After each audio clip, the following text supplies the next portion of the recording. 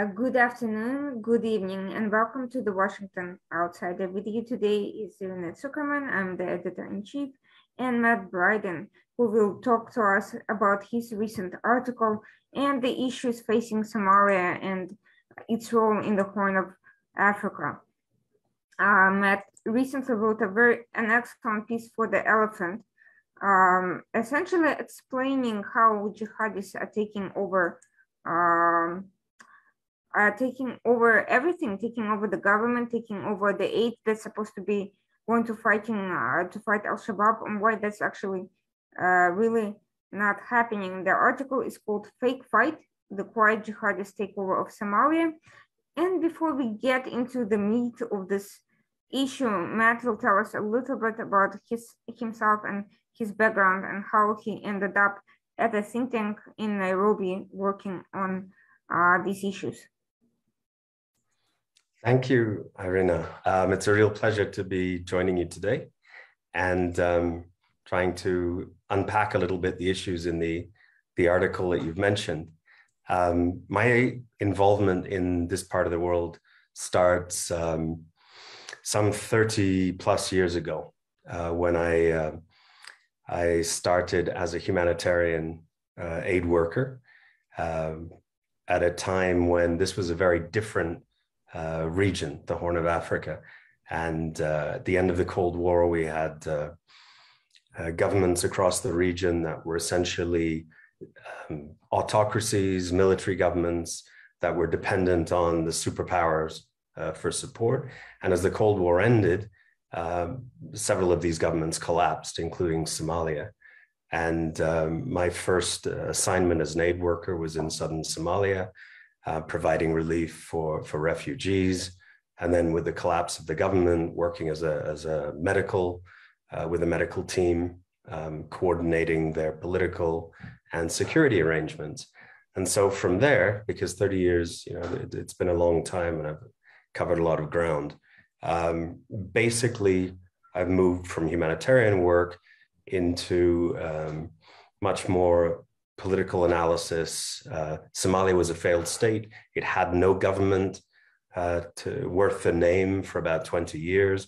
And so the challenges of how do you stabilize this kind of territory? Um, how do you stop uh, two decades of, of, civil strife and violence and contribute to uh, restoration of governance and stability, security?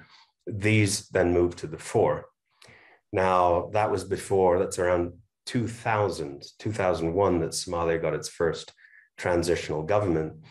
And uh, 10 years later, of course, with 9 11, uh, the focus shifted very rapidly to counterterrorism efforts.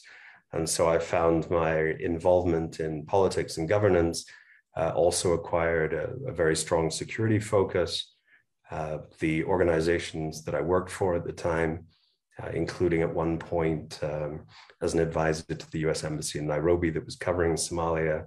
Uh, we were looking at the jihadist threat, the extremist threat, where it had come from. And I would say that that's pretty much dominated my work over the last um, uh, 15 years, oh, 10, 11 years or so now.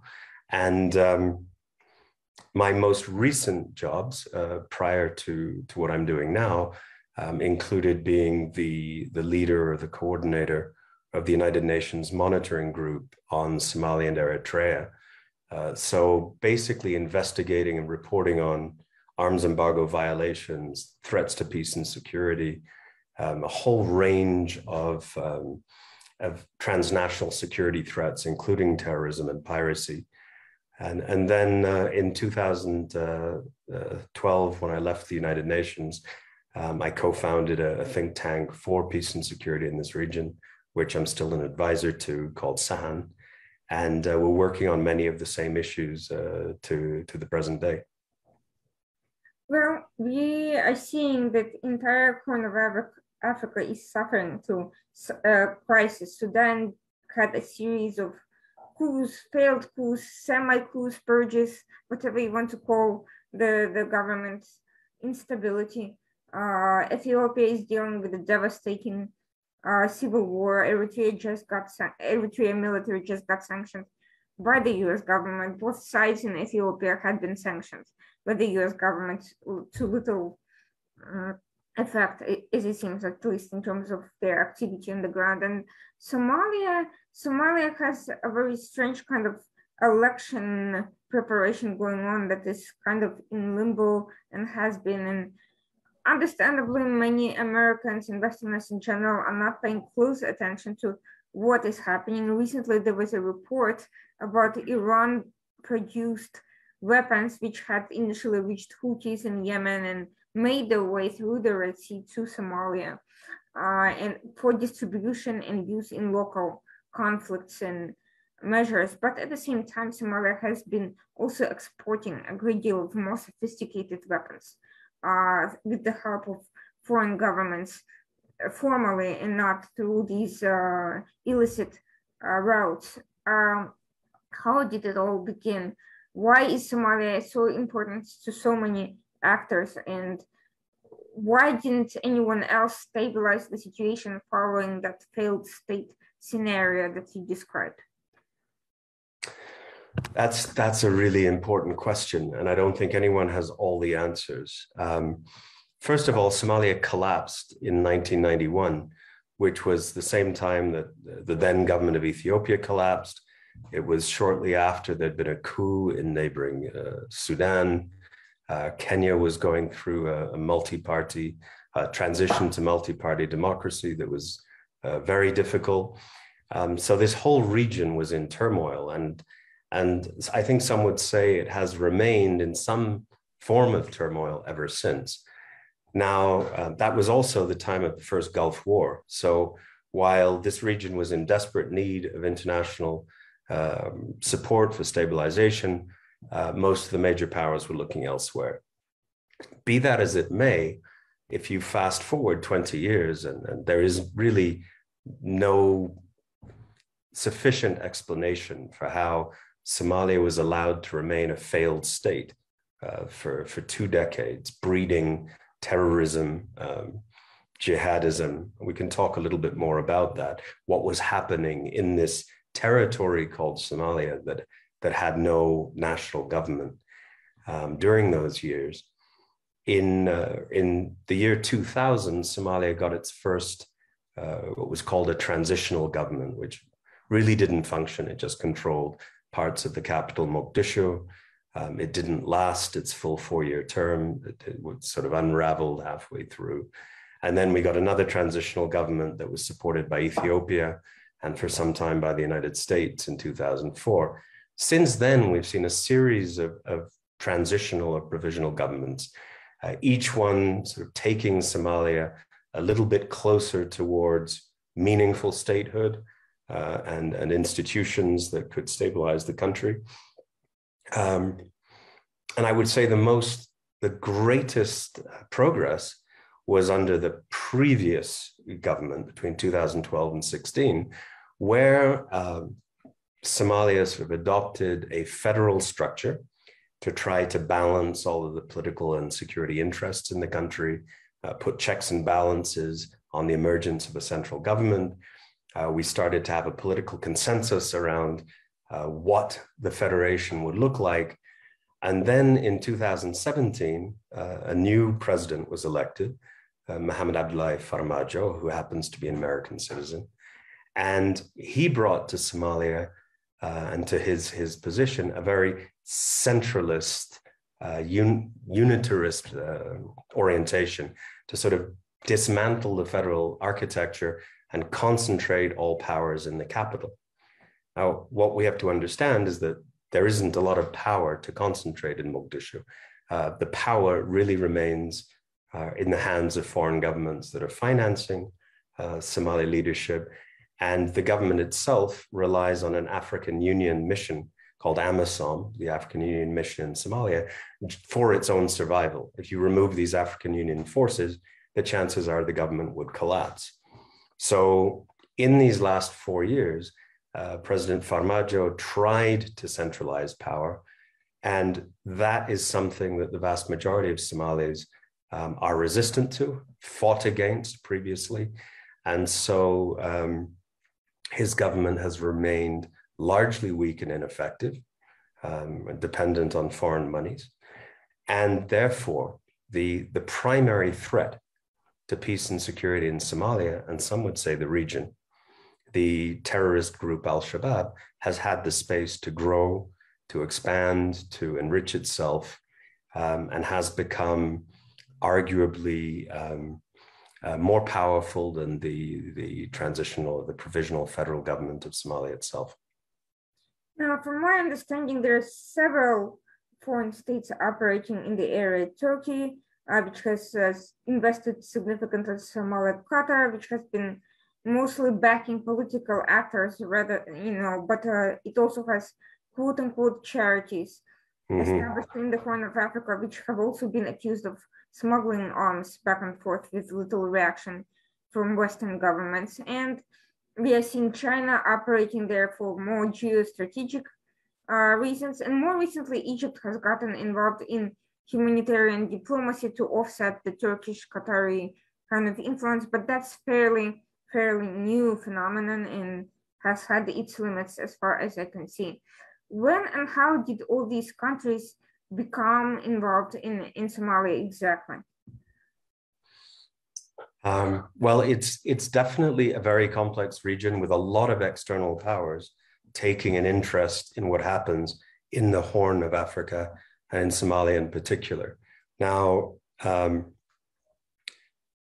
under previous uh, transitional governments or federal governments, as Somalia has been evolving, the main player in this part of the world has been Ethiopia. Mm-hmm. And Ethiopia uh, favored a decentralized federal Somalia.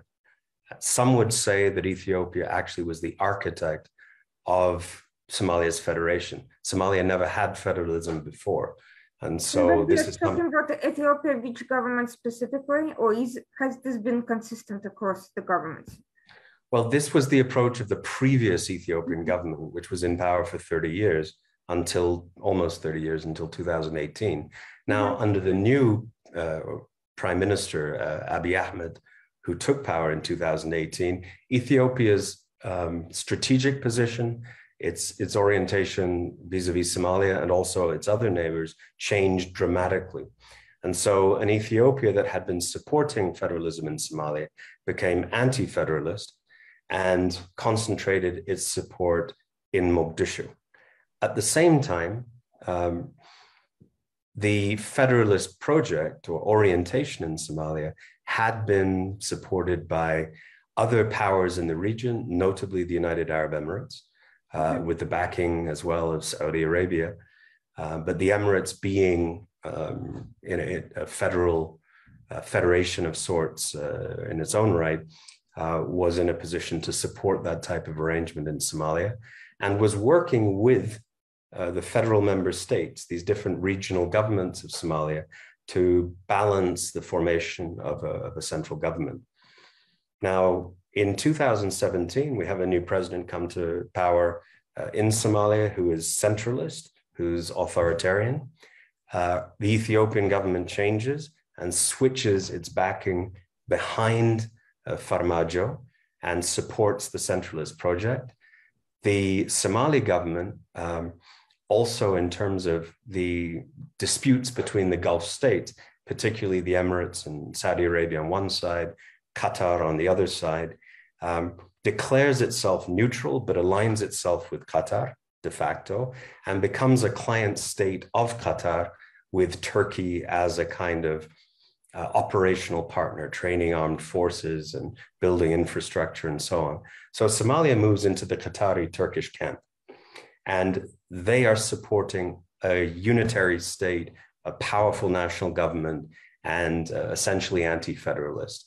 And that's where, for some time, we saw the Emirates and Saudi Arabia and others pushing back. Um, but I would say for the last two years, that um, that support from the Emirates and the Saudis has, has essentially dried up. They've backed off. And so the central government, the federal government in Somalia, has basically had free reign. It's been receiving money, arms, training to try and impose its vision of a unitary Somali government. And have those countries been all involved uh, started to get involved at about the same time since the collapse of the original government, was, or was it later at some point? Well, there have been a lot of phases because um, prior to the collapse of the Somali government in 1991, uh, a lot of Arab states actually supported the military dictatorship of mm-hmm. Mohammed Siad Barre. And then when his government uh, collapsed, uh, there was a loss of interest. We saw the Europeans, the United States uh, coming in essentially for humanitarian reasons. Then in 1992, uh, under uh, President Bush, we saw a massive, um, probably the largest humanitarian operation uh, ever to that point, Operation Restore Hope, with over 30,000 troops, most of them American, coming in to deliver, to secure Somalia for humanitarian assistance. Um, of course, that ended with uh, more or less with the notorious Black Hawk Down episode, with a United States withdrawal, the United Nations following suit uh, to a large degree. And then a period, I would say, of uh, limbo where only the, the neighborhood regional states were involved and major powers backed off for a long time. It's only after uh, 9 11 that we see the United States come back with a serious interest in counterterrorism. And that ramps up through the 2000s for various reasons, including, of course, the presence of Al Qaeda in Somalia, but also the formation of what became known as the Islamic Courts. And then out of that, uh, Al Shabaab, the Al Qaeda affiliate in Somalia. Now, there have been a lot of changes up until roughly uh, the late 1990s. Um, the funding for jihadists in Somalia had largely come from countries like Saudi Arabia, the Emirates, Kuwait. Um, but post 9 11, we see a shift where they start shutting down funding for these jihadist groups. And the ideologues who had been hosted in those government in, in those countries uh, moved to places like Qatar, and Qatar in particular becomes now the refuge of a lot of political Islamist movements that are no longer welcome in other parts of the Gulf. And I think from there, we see the alignment, the, the beginning of the alignments that to this day, with Qatar on one side, beginning to involve Turkey, and I think Turkey's support for Muslim Brotherhood movements worldwide is, is also key here. Um, but with Saudi Arabia and the Emirates now opposed to the emergence of political Islam in the Horn, um, trying to uh, initially trying to to uh, contain this phenomenon, but um, for a number of reasons backing off, realizing they don't really have strategy to counter what Qatar and Turkey uh, Ethiopia and Eritrea as well um, are, are trying to build in Somalia. And so um, Somalia starts to move in a very dangerous direction, uh, which is authoritarian, autocratic, and also a sort of post jihadist Islamist dispensation. No, it's very obvious that the Ethiopian government is not Islamist. Why would it align with these states that are pursuing religious, uh, you know, a theocratic kind of model that's rooted in very politicized version of, of the religion that would seem counter to the Christian majority country? Well, the issue of political Islam in Somalia is is um, very complex. It's also very nuanced, and over the last decade or so, uh, elite politics at the center, the, the groups vying for leadership of the federal government, have largely been from various Islamist origins. We've had some from uh, different branches of the Muslim Brotherhood. Uh, we have Salafis uh, with ties to Saudi Arabia um, in particular. And then we also have what I would call the Al Sahwa group, which is the more militant um, jihadist group that gave or ideology that gave rise to, to Al Qaeda and, and subsequently then to, to the Islamic State or Daesh. Now, if I'm not mistaken, Al Sahwa is that group or the awakening movement that was at one point in the 90s finally banned in Saudi Arabia. And it included preachers like Salman al Ouda, who had allegedly inspired uh, Osama bin Laden and who had links to these African movements as well, from what I understand. That's that's absolutely right. And what we saw in the early 1990s was that uh, bin Laden was exiled from Saudi Arabia and moved to Sudan, so very much in this part of the world. And he brought his core Al Qaeda or his embryonic Al Qaeda organization with him and was hosted by an Islamist government in Sudan, in Khartoum. Now, looking for allies in this region, um, he linked up with a group called Al Ittihad al Islam, which was a Somali jihadist group with very similar ideological orientation. People who'd been to the same universities, same, uh, some of them had experience uh, fighting in Afghanistan. They wanted, um, after the collapse of the Somali government, Al Ittihad um, saw a bunch of warlords fighting for control. And they said, if we want a proper Islamic government, we have to be armed as well. But they didn't have the means. They had some sponsors from uh, Gulf states and Saudi Arabia in particular, both private and, uh, and governmental. And they started to arm themselves and to try to impose themselves. Bin Laden found an ally, a willing ally in these groups and in, in Al Ittihad. And so they embarked on this project together. And bin Laden was particularly interested by when the American uh, military arrived in Somalia, um, he saw a way to um, lift up the profile of Al Qaeda and issued a number of statements, one of which famously said, We're going to cut off the head of the snake in Somalia. And his organization moved there and fused with Al Ittihad. And when we look back, we now know that uh, some of the operations of Al Qaeda and Ittihad at that time were being financed by organizations set up by Safar al Hawali and other sheikhs from Saudi Arabia from the Al Sahwa movement, one particularly uh, based in Ireland, of all places, uh, called Mercy International. Uh, and it was uh, Safar al Hawali's organization. And the money from Mercy International was funneled through Nairobi to um, Al Ittihad's Southwest Somali base. There were Al Qaeda fighters there, internationals from all over the world. Um, and that, that was the last, uh, the last base of Al Ittihad in Somalia. It was finally crushed by the Ethiopian government um, because it had also been launching attacks in Ethiopia.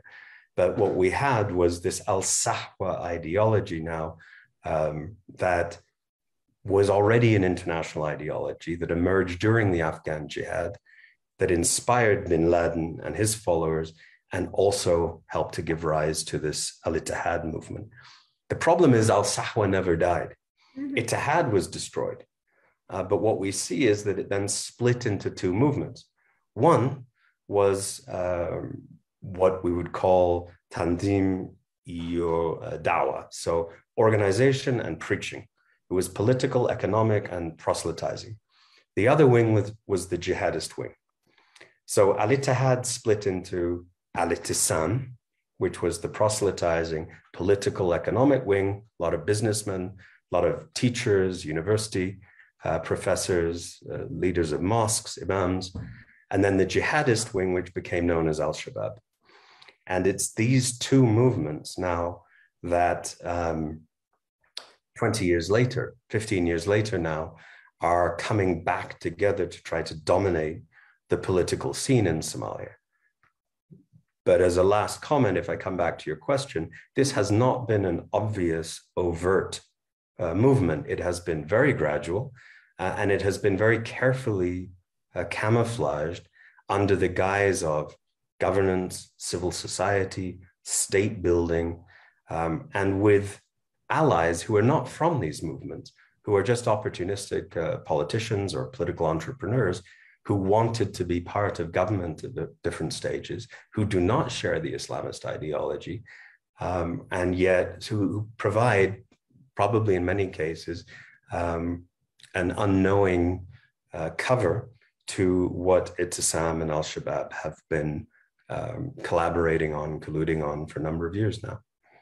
Well, you you mentioned in your article, coming back to that, that this type of uh, this type of ideology was not native to Somalia as a whole. That actually most people there are of Sufi orientation, and while the Sufis have their own militant uh, groups, uh, ideologically they're not closely aligned with these movements. How did they manage to become so successful in an environment that is not overall um, friendly ideologically?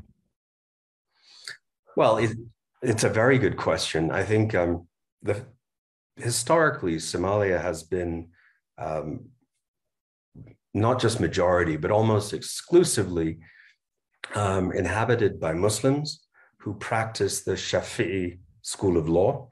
Mm-hmm. And they have been, it's been passed down through Sufi brotherhoods. So a very moderate um, and flexible form of Islam. What many scholars over the years have called um, a veil lightly worn. Uh, so if you look back to Somalia in the 1970s and 80s, you see a liberal progressive society. Uh, you see um, uh, much greater gender parity uh, than you do now, and um, freedom of choice in terms of lifestyles and dress and so on. So Somalia had a, a, a sort of moderate and progressive Islamic tradition.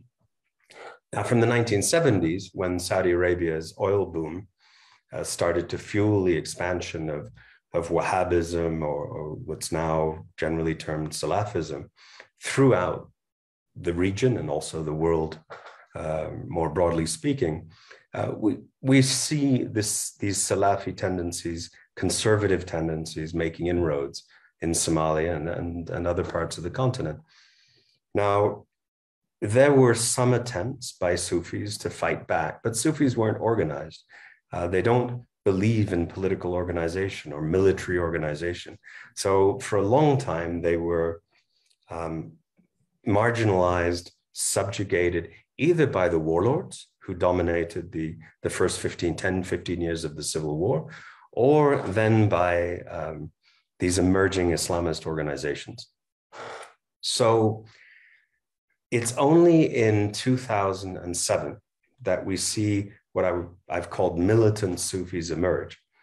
What happens is that it, in the early 2000s, this Al Qaeda affiliate called Al Shabaab emerges. And like Al Ittihad, its predecessor, it starts promoting a militant, violent, jihadist form of Islam. And uh, while it does that quite successfully, some parts of the Islamic courts and Al Shabaab um, start to question that direction and defect. Now, this isn't because of a of conscience or altruism. It's because Ethiopia invaded Somalia and waged a very um, surgical uh, war, destroyed the Islamic courts as they were forming, and focused on those parts that were jihadist. And some of the parts of the Somali community that were most affected decided that jihadism w- was not the right choice and moved back to promote the traditional historical form of Somali Islamic practice and belief and practice. Call they call it al Sunnah wal Jama'ah, which has means different things in different contexts. So we see a militant Sufi organization formed to fight Al Shabaab, to fight Al Qaeda, and to restore Somalia to its previous, um, to, to promote the previous practice of Islamic belief uh, and, and practice and teaching. And they were very successful, particularly in central Somalia, of pushing al Shabaab out and securing a large part of the country from the jihadists.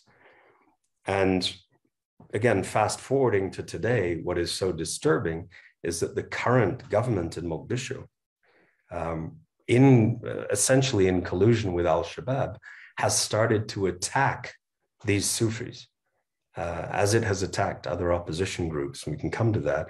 But essentially, this government sees the Sufis as a greater threat than the jihadists and has put more, has invested more time, energy, effort, uh, and military um, combat power into fighting the Sufis than it has into fighting Al Shabaab. And I think this is beginning to give us a very clear sense of where Somalia is going. Sorry, in your article, you mentioned um, a man named Fahad who essentially became Qatar's guy in Mogadishu and who you basically stated, sorry, was the one who brought Farmajo in. I'm sorry. What can you tell us about him? Why he decided to go that route, and why has Qatar banked on him as opposed to more political Islamists? Well, we don't know a lot about as much as we probably should about this individual called Fahad Yassin. Now, Fahad Yassin was a young man when Somalia uh, fell apart. Um, he had been, his, his family was uh, divided, his parents were separated, and he was brought up by his mother and, and a stepfather. Um, and they became refugees in Kenya after the collapse of the government. He had essentially a very limited religious education, not a, a mm-hmm. secondary and, and post secondary education. And in the mid 1990s, he joined his stepfather. His, fa- his stepfather uh, was a member of Al Ittihad and took him from Kenya back into Somalia to wage jihad and to fight against, uh, among others, the Ethiopians. And so he was present at the final battles where Al Ittihad al Islam and its Al Qaeda um, associates were dismantled definitively and destroyed. And so for some time, then Fahad seems to have traveled um, Kenya, Yemen, where uh, by some accounts he, he studied at a, a well known sort of jihadist uh, university uh, that no longer exists. Um, but eventually, the, he, he wound up working as a journalist with uh, the Qatari Al Jazeera network. And he was very successful in part because of his jihadist roots. And by the early 2000s, um, of course, the Islamic courts in Somalia and the beginnings of Al Shabaab were becoming visible, were becoming of interest. And very few people knew much about them, and even fewer could, could talk to them directly. Mm-hmm. But Fahad had this access. He could go and interview their leaders. Um, and this very clearly seems to have been based on his previous sort of jihadist upbringing and his membership uh, in Al Ittihad. Uh, over the years, uh, through his association with Al Jazeera, possibly other relationships that are less clear, uh, he came to the attention of the Qatari intelligence services and eventually returned to Somalia in politics, not in journalism, uh, trying to maneuver his preferred candidates into government. Um, he spent some years sort of learning the trade unsuccessfully promoting candidates under a previous uh, president of Somalia. But then in 2016, he was essentially the campaign manager for the current president, uh, Mohamed Abdullahi Farmajo, and brought him to power and was rewarded first with the post of chief of staff in the presidency and then the head of the intelligence service, NISA, which is an entirely Qatari funded uh, project. So Fahad moved from being a jihadist to a journalist to a political lobbyist, and now is in the center of power. What's interesting is that the president, Farmajo, is not considered an Islamist by any stretch. Uh, he's an ultranationalist, populist, not particularly distinguished politician. Um, but uh, what I argue in my article is that suits Fahad just fine because Farmajo plus a bunch of diaspora technocrats, Somalis from Norway, Sweden, the United States, UK, um, wearing suits, speaking Western languages, speaking the language that donors want to hear, is, is a sort of perfect cover for what is going on behind the scenes. And that is a security establishment, military, police, and intelligence, uh, sort of core that uh, is funded by Qatar, trained by Turkey, and is fighting not Al Shabaab, but is fighting all other political forces in Somalia um, in order to establish the dominance of, of the federal government. And I would argue of Fahad Yassin in particular. Interesting that you mentioned that because the Somali diaspora in the United States indeed seems to share a lot of the same sort of ideology, and even those who are not overtly all that religious seem to sympathize uh, with with with this with, with the government, and this, I'm struggling to understand why. Has this government done anything to significantly improve the economic situation in the country? What exactly?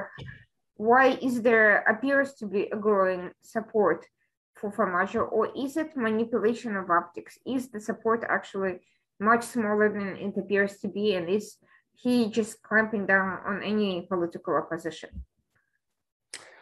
I think first you're right that um, Farmajo came to power on a wave of of um, popular support, both inside and outside the country. People who were not just politically supporting, but funding uh, his campaign. And you know, the diaspora now, many of them having been out of the country uh, for the better part of three decades or only occasionally visiting, some of the youth uh, born outside Somalia, uh, his nationalist and populist appeal um, has resonated. And the notion of, of, of, a great Somalia, making it again a power in, in the region, is something that I think a lot of Somalis would like to see.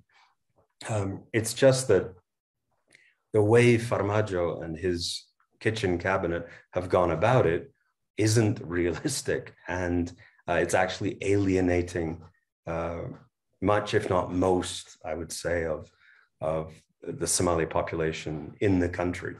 And anyone who disagrees with me, I, I would, would put to the test and say, why is it then that his government now controls less territory than when it came to power, and that Al Shabaab is stronger uh, if he has this you know, broad base of, of, domestic support. Now, Somali politics inside the country is partly based on clan, or what, uh, mm-hmm. uh, to a certain extent, in other countries you might refer to as tribes, but Somalis speak the same language um, more or less, um, and uh, are, gen- are, generally considered to be one ethnic group. So they don't have tribes, but these f- large families known as clans uh, do have a history of competition for power, political power. Um, and that, that competition is now alive and well and is becoming more and more acute and more dangerous as Farmajo tries to centralize power in his own hands and deny it to other parts of the country, to other clans, uh, to other what are called federal member states uh, of the federation. Um, but his his appeal as a nationalist, I think, still um, holds some of the uh, the diaspora um, in sway, and uh, you'll still see rhetorical support. The other thing I would add is that where Farmajo and Fahad, even more than Farmajo, because Fahad is in a sense the the brains behind this. Farmajo is a sort of useful dupe, the face of the government. Um, Fahad's been uh, very effective at using social media. Mm-hmm. And so um, many of Farmajo's critics now consider him to be a president with Facebook followers.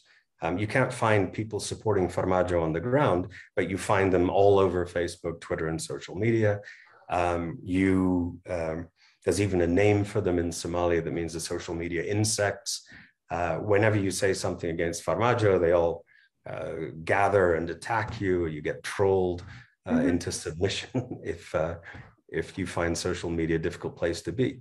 So um, I would say now that Farmajo's appeal, on at one level, it's more virtual than real, um, and this mm-hmm. is the power of Fahad Yassin and his his strategy. But at another level, and we mustn't forget the money that of from Qatar being channeled through Fahad and the intelligence service, and the way it is spent to set up troll farms, to promote this type of propaganda, to politicize the security forces. This is the real danger because Twitter and Facebook are not going to get Farmajo reelected or keep Fahad in his position. Mm. That's going to be money and manipulation of the upcoming uh, electoral process in Somalia. So this is where I want to get to this a little bit. First of all, if you're saying that the country that his whole image is based on nationalism, how does that work with foreign states apparently funding all of his political uh, apparatus and operations? And what and without a doubt, this is you know Qatar, Turkey, and so forth, they are looking for something in Somalia and they're not doing it out of the goodness of their hearts. What is it they are seeking, and why hasn't that become an issue for for the populist national supporters who clearly can't possibly enjoy seeing all these foreigners um, intervene in their politic in their politics? Um, yeah, very challenging question. I think here we really have to step back. Um, to take a broader geopolitical canvas and recognize that this competition is not, strictly speaking, just about Somalia. So, first of all, um, we are seeing a period where the superpowers have declined. Even, of course, the power of the United States is not what it was. There is no Soviet Union. China is an emerging power. Uh, of course, there are others. But what is happening, uh, very clear from this part of the world, is that middle powers are becoming the real uh, pullers of levers of power and influence. And the, the great powers, you know, sure, they have a vote. They, they certainly, um, their voices are heard. And when they really matter, when they really care, they can, they can alter events, influence events here. But day to day, it's these middle powers from the Gulf Turkey, um, and sometimes uh, other parts of the continent that are really making things happen and shaping events. Now, Somalia is really, when we come to the Gulf states, it's really just one territory in a wider canvas, a conflict that stretches from, I would argue, Tunisia in the northwest through Libya um, and uh, in a certain to a certain extent in Sudan, although less vis- visible, um, and uh, into Somalia, and then northwards again through Yemen and into the Middle East, Iraq, and, and Syria, where we have these middle powers competing through proxies for influence. And by and large, you have um, Saudi Arabia, uh, the UAE, and Egypt um, supporting anti Islamist but uh, in, in several cases, authoritarian, militaristic um, authorities or pretenders to government against, um, let's say, groups that have stronger Islamist flavors are often um, often portray themselves as more civil society oriented, often with progressive um, slogans and and uh, at least declared objectives.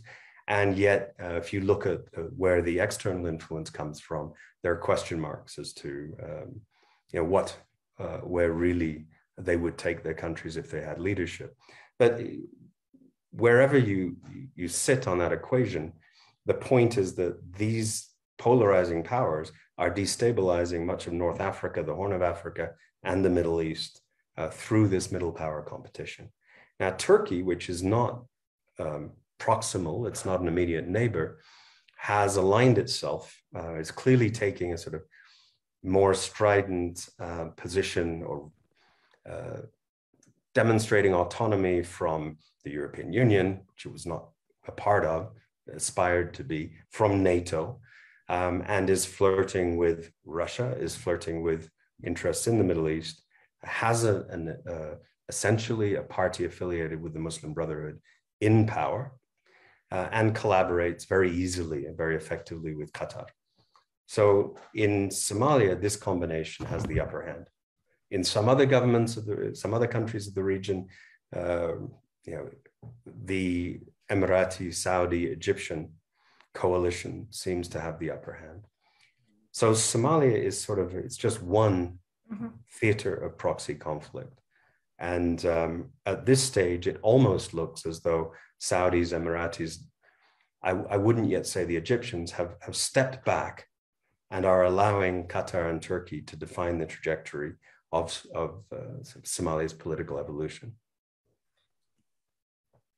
We are looking at the situation where, where Farmajo and Fahad are essentially looking to manipulate whatever dissatisfaction there may be to define the political trajectory of the country. What exactly are they doing to suppress and manipulate these elections, and what are the repercussions of that for the country and for the region? So here there are there are several levels of politics in play. Number one is that Somalia doesn't actually yet have a fully sovereign, fully formed government. Its government uh, the, is, is founded on a provisional constitution. So its powers are incomplete and undefined. And I would argue that it's a provisional government. And what the constitution or the provisional constitution says is that where there is ambiguity or a dispute between the federal government and the federal member states, uh, and where the constitution is not clear then these issues should be subject to consultation and negotiation between those two levels of government. And so, in theory, Somalia should have had a four year period under Farmajo where the powers and responsibilities of these two levels of government were defined, agreed upon, where the legislature governing the or, uh, legislation governing the federation should have been completed. So, natural resources, revenue sharing, uh, security architecture to fight Al Shabaab, among other things. That should have all been agreed. And then we need to agree on some kind of electoral system or representation. Now, four years, more than four years since Farmajo took power, because he's overstayed his mandate. And almost one year later, he's still president without any sort of legal or constitutional basis. Uh, he claims that position. And none of these issues in the provisional constitution have been resolved or addressed. And what Farmajo and Fahad have tried to do is dismantle the federation by weakening the federal member states and avoiding any negotiation over Somalia's federal future. And just did, through decree, through fiat from Mogadishu, from the capital, um, sort of reconstructing Somalia as a unitary state. So that's one level at which they've been fighting. Um, but another level, which is, I mean, less obvious, is that Fahad has, in a sense, he's established Al Ittisam, the post jihadist wing of Al Ittihad, as the ruling party in the presidency. And he's been populating uh, the government, federal government, and also the security agencies with members, former members of Al Ittihad, members of Al Ittisam, and even former members of Al Shabaab who don't seem to have been through a process of uh, rehabilitation or turning against uh, the movement they used to be a part of. So we see a core sort of post jihadist element inside the government. And for a number of reasons, Islamists and jihadists in Somalia tend to be anti federal and very unitary in their political orientation. So there's a, a reinforcement between Farmajo's authoritarian unitary instincts and Fahad's Islamist unitary uh, instincts. And we are now at the point where we see a government whose entire focus, politically and militarily, has been to fight the federal member states, to fight the political opposition, and not once within the last four years, five years almost, to launch a major military action or operation against Al Shabaab. Now, so here, this question is what are they gaining from the growth Al Shabaab? Is it just political support? And what exactly have uh, who is the political opposition and how, what have, have been their platform with regards to security in Al Shabaab and, and these movements?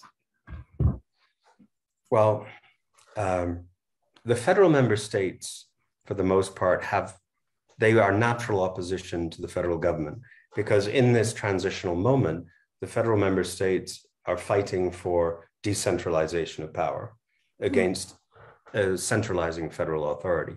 Now, what Farmajo and Fahad have done is rig elections in three of the federal, three of five federal member states to to um, appoint proxies who will do their bidding.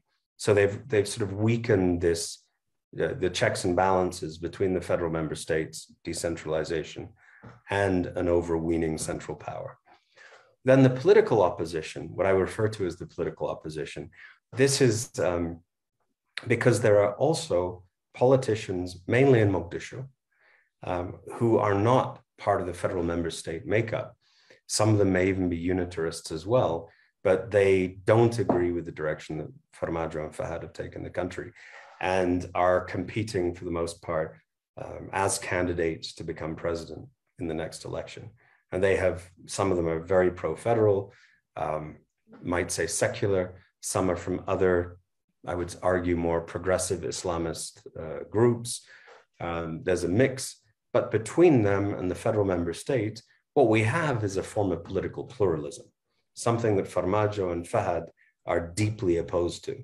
Um, anything, anyone who doesn't agree with them and follow their party line is subject to harassment, intimidation, assassination, uh, or um, to be silenced in, in, in any other way they can find. So that's uh, that's basically what I mean by the political opposition. So why haven't we seen mass mass uh, uprisings in Somalia the way we've seen in other African and Middle Eastern countries uh, when there appears to be dis- dissatisfaction with the political process. Are, do these political opposition groups have mass followings, or are they essentially just on their own and don't, they don't really represent anyone other than their own interests?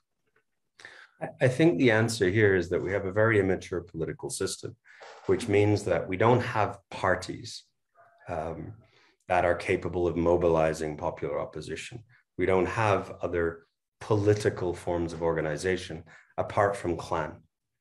Mm-hmm. And clan is a very complicated beast uh, to manage politics on.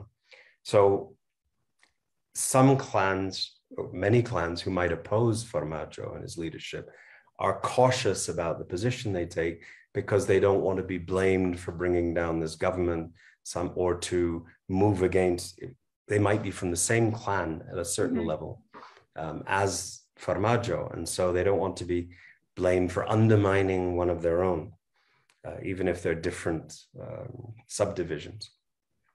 So clan politics then becomes, it's very fragmented, it's very difficult to mobilize. But what we saw uh, in, in early 2021, between February and April, in, in February, Farmajo's term of office ended. He's no longer president. He has no constitutional political mandate. Uh, and he just decided to sit in Villa Somalia um, and um, retain the title. And immediately we saw mobilization led by opposition politicians. But in fact, um, the power came from the population and mainly from the clans around uh, Mogadishu. And so the Somali National Army, which is a very sort of embryonic force in its own right, actually split along clan lines. And we had whole units join the opposition to oppose Farmajo's self declared extension. And then in, in April, when he tried to legalize his extension, Parliament did uh, by, by putting it before Parliament. Parliament's term has also expired. So they had no, no business doing this anyway. Um, when they tabled this motion for Farmajo's two year extension, all hell broke loose. Uh, the army around Mogadishu essentially disintegrated. There was fighting in the streets. Pro government forces tried to assassinate opposition politicians, but the opposition got the upper hand. And uh, Farmajo probably would have been forced out of uh, the palace at the point of a gun had he not um, surrendered and basically said, all right, I'm dropping the two year extension, I'll, I'll, I'll, negotiate. Now, since then, uh, he and Fahad playing shrewd politics, uh, it's been um, more than seven months since that clash. It's been nine months since his term of office extended, and he's still sitting in Villa Somalia, still carrying the title of president. And the electoral process looks like it could go on indefinitely. Um, he might still be president. Who knows? In in three, four, six months, or even a year, um, if um, unless the opposition go back to the streets again or, or the electoral process accelerates. Uh, well, what would it take for them to do that? Because the two things I'm not seeing here that have been present in other countries is there is no international reporting focus on the electoral process. It's safe to say that in many other countries where that focus has been has taken place, it was largely where Al Jazeera and largely in Qatar's interest, and of course, there's no such interest in covering the unfair elections here for obvious reasons.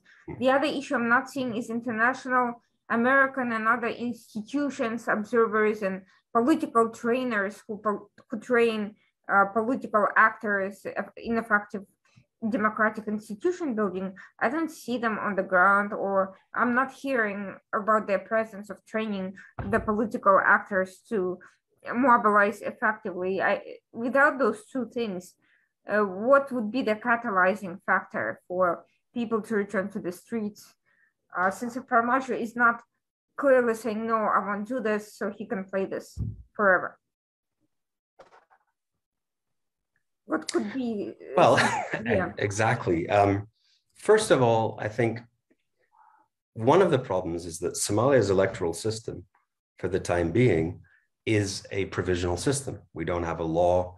Um, we don't have any kind of, of multi-party system in place, and, and that'll be very difficult to construct.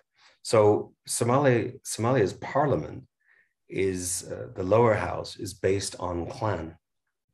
So the only way to mobilize politically and to have representation at the federal level is through clan. So it doesn't matter at the moment whether politicians lead parties or not. They have no mm-hmm. traction. Um, so we remain in the same kind of clan system that has kept Somalia divided, fragmented, unstable for the last 30 years. And we really need to get past that. It's, it's extremely disappointing, discouraging to see that under Farmajo, there's been no attempt to move Somalia forward. He's exploited this clan system, um, playing divide and rule to keep himself in, uh, in, in power. Now, the, the other thing to remember is that you know, the United States and Europeans have invested huge amounts of money in trying to move Somalia into a better place.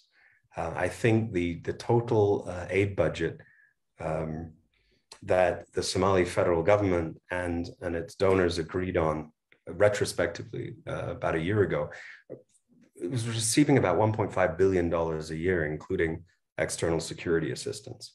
And the budget of the government itself is less than 200 million. So you can see the uh, imbalance here. But um, what's essentially happened is, is, I think, I would argue, an international ranking. Ethiopia next door is has about 110 million people. It's consumed by civil war, and its government may well be on the verge of collapse. Um, and there is no plan for what comes next. So, a catastrophic crisis for the entire region. It's the biggest power uh, in, in the region. Next door is Sudan, territorially one of Africa's largest states. Um, it has been in a difficult transition for several years. The military has just uh, pulled off uh, what some would call a second coup. The entire transitional process is in danger, and we have uh, Western powers deeply invested there as well. So uh, we could also look at other states across the, the region, West Africa facing um, the rise of Islamic State, and, and, and uh, in particular in, in Nigeria, Mali, Niger, and so on.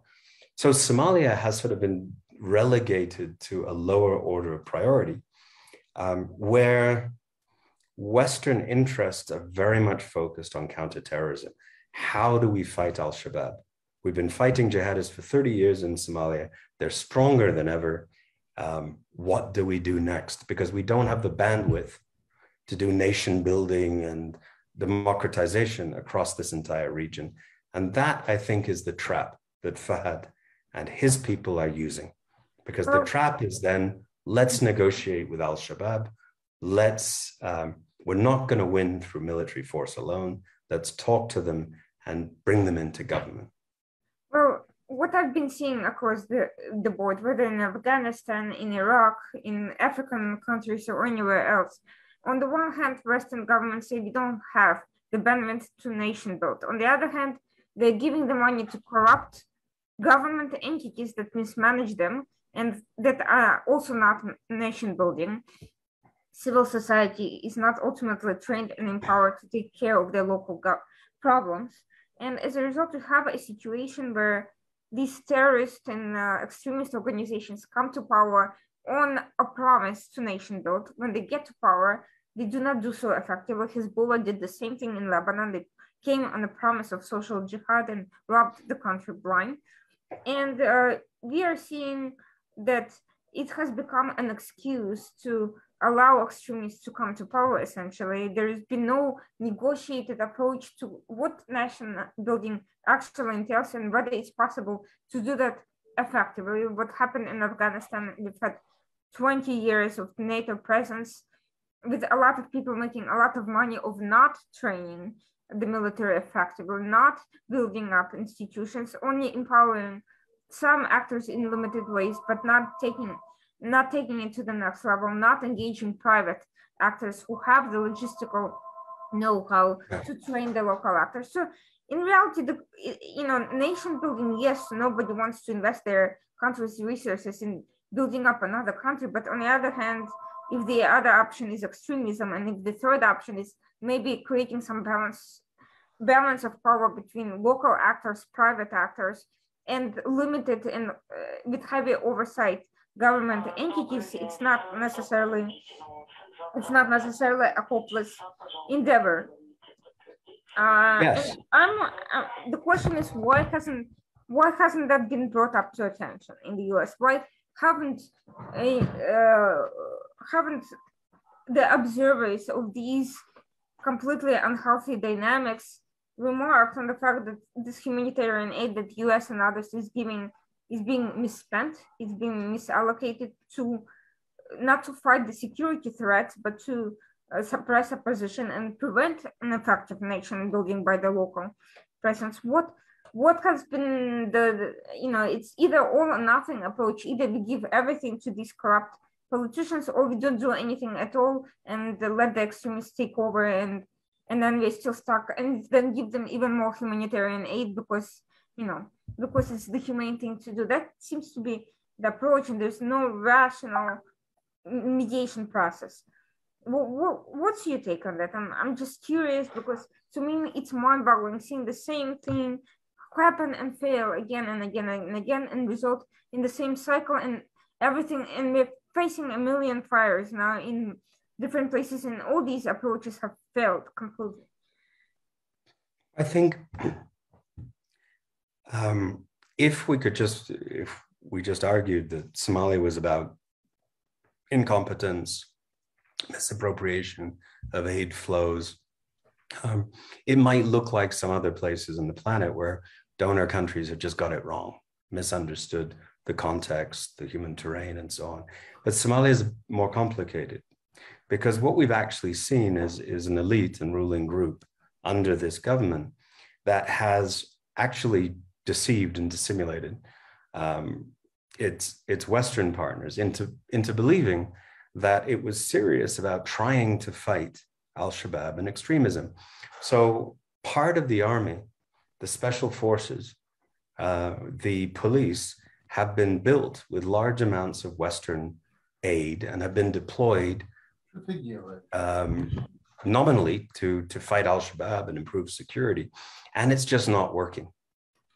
But where this gets complicated is that when you look deeply into uh, the operations uh, that the military has been sent on, chain of command and control, and um, the investment uh, the government has has uh, put into these operations, what you find is that there's there's a there's a lack of seriousness. The government doesn't seem to actually want success, mm-hmm. and the as I've argued in, in my most recent paper, um, the Somali National Army has been sent on wild goose chases to um, secure objectives that it used to control four years ago, but never actually finishing the operation, not opening major roads, major Al Shabaab bases that are within a day's drive of a large Somali National Army and police concentrations uh, are never attacked. There hasn't been an operation against them. On the other hand, we see parts of the army, special forces, uh, paramilitary police, and of course the intelligence service that are not Western backed, they're Qatari and Turkish backed, and they're very competent and they're very capable. The problem is they're not used to fight Al Shabaab. They're used mm-hmm. to fight the federal member states and they're used to suppress and intimidate the political opposition. So the Somali federal government is using two different security establishments to fight two different wars. One, trying and failing, I would say deliberately, um, to confront Al Shabaab. Um, and then another, quite effectively, to centralize power and dismantle political opposition and the architecture of federalism. So it puts us in a situation where today, if you take the, uh, the federal government's arguments in good faith, you would say, well, we've tried to fight the jihadists. It's not working. There's no other option but to come to the table and negotiate. Um, and you would miss the fact that actually quite effective forces have been operating, but not for that mission. I don't think it's any coincidence that Qatar is among the governments that has been most vocal um, in calling for a dialogue between Al Shabaab and the federal leadership and encouraging Western governments, um, arguing that Qatar can also be a key actor and a facilitator in these talks. And a, a, lot of Western governments have thrown up their hands and said, three decades of war, of chaos, billions of dollars of investment in the security sector, we're not winning, let's talk when in fact their local Somali government partner is not trying to win at all. It's trying to bring them to the conclusion that dialogue is necessary. And I'll close this out by saying if we had a federal government that was serious about a progressive, let's say, Western liberal democratic model, mm-hmm. Um, and was going to sit down at the table with Al Shabaab and try to find some accommodation, well, let's see where that goes. But what we actually have is a government dominated by a former jihadist group whose ideology is essentially identical to that of Al Shabaab. Fahad is Al Ittihad, Al Shabaab is Al Ittihad. We would basically be reunifying the major Somali post war jihadist movement uh, under the auspices of the state and saying, You're now the ruling party. And believe me, if Al Ittihad or whatever we choose to call it becomes the ruling party, with Ittisam running politics and economics, Shabab largely being the military wing, we have a one party, totalitarian, jihadist state, not so different uh, from what we see in Afghanistan. Ideologically and culturally different, but in terms of um, a totalitarian jihadist rule, no, I think we'd end up with a very similar scenario. One one final question to wrap all of this up. We are seeing that Secretary Blinken is uh, coming to uh, Nairobi next week to discuss Somalia, Sudan, Ethiopia. Now, we've already seen this administration's approach to Afghanistan. Arguably, it was started by the past administration, but they chose to continue this trajectory, which was to allow the Taliban to take power without negotiating any compromise, which couldn't be negotiated because Taliban is a radical Islamist organization that does not believe in power sharing. Now we're seeing the exact same violations we everyone had warned about, and we are seeing that uh, other power-hungry groups, including former Taliban, now known as ISIS-K, are challenging them for power, and there's internal frictions and instability, lack of governance experience because it's a terrorist organization, and and so on and so forth, a co complete collapse of Afghanistan into a failed state with security repercussions for the region that are fairly uh, foreseeable. And do you believe that Secretary Blinken has taken a lesson from that experience and will push for some sort of a different vision for the region, a vision that includes some sort of strings attached to disbursement of further aid, some sort of concrete uh, commitments to uh, civil society sector to empowering local actors to uh, um, excluding corrupt actors from the political process, uh, education, everything that, that needs to be done to counter extremist ideology from spreading and not just endless and failing counter-terrorist operations? Or do you believe that we'll see more of the same from the Biden administration and as a result from everyone else who is following suit on this issue? Well, I think here, first of all, Secretary Blinken's visit uh, this week to this part of the world is probably going to be dominated by the impending, well, the crisis in Ethiopia, potential collapse of that government, and then also to a lesser extent, what's happening in Sudan. Of course, the US Special Envoy, Jeffrey Feltman, has been very active um, on both fronts. But um, again, Somalia will likely come as a best a third priority.